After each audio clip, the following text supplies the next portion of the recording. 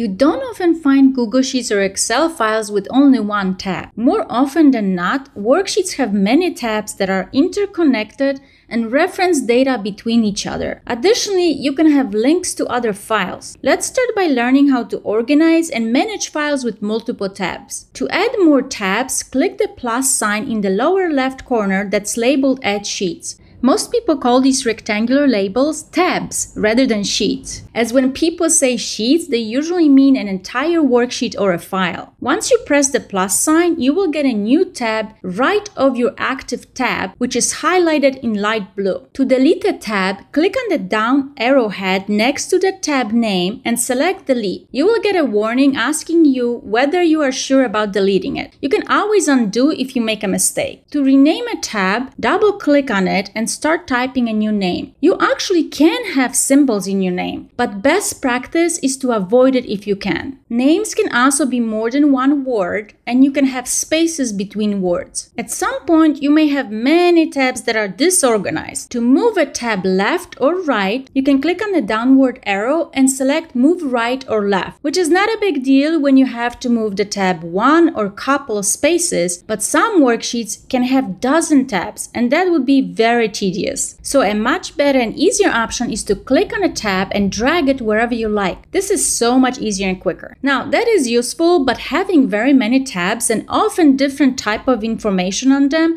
it is helpful being able to color code them. Right click or select the down arrow and go to change color. If you have a group of tabs that you want to change color of, you don't have to do that individually. You can select one then press shift and select the last one in your group and then go to change color for that set. Sometimes you have files with many tabs and only few of them you are actively working on and would like to hide the ones that you want to keep but don't need to see. You can right click on the tab you want to hide and select hide sheet. To unhide it, go to view hidden sheets and select the one you want to unhide. Be aware that anyone who has access to your file will be able to unhide them. Editors can unhide them and viewers that make a copy of your file will be able to unhide them as well. Another way to access all your tabs are the three bars next to the plus sign on the left, which says All Sheets. This is a quick way to access all the tabs, especially if you have a lot of them. All the ones that are hidden are in a faint gray color. If you click on it, it unhides the tab.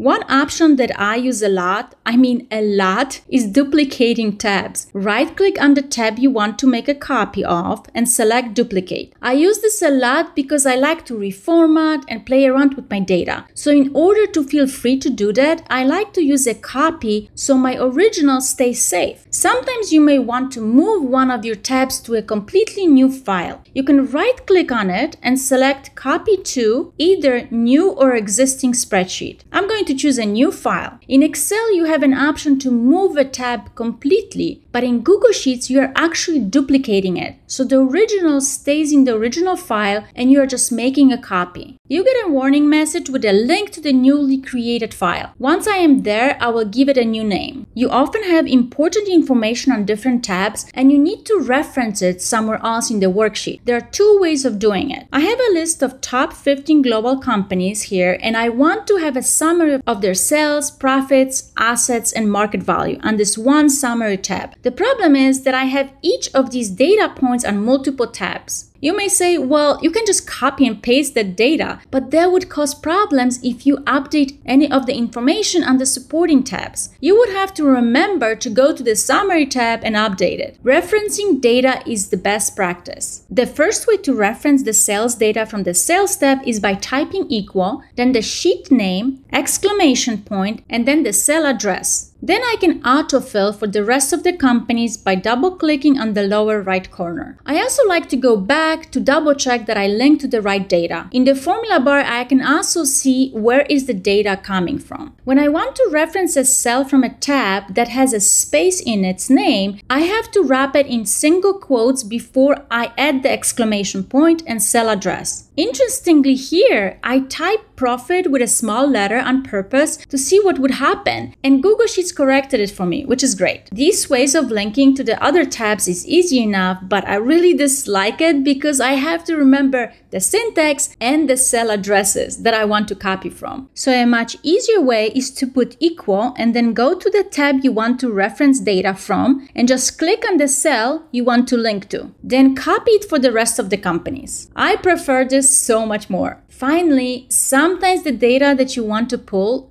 is not in a different tab, but rather in a completely different file. If I want to link to the market value data that is in another sheet, I will have to use the IMPORTRANGE function. The syntax for the function is the spreadsheet URL address and then the tab name and range. I will type equal, then find IMPORTRANGE function. Now I will go back to the market value worksheet and copy its URL address. Then I will go back to my formula and paste it there. Then put a comma and add market value tab name and range C2 to C16. However, when I press enter, I got an error message.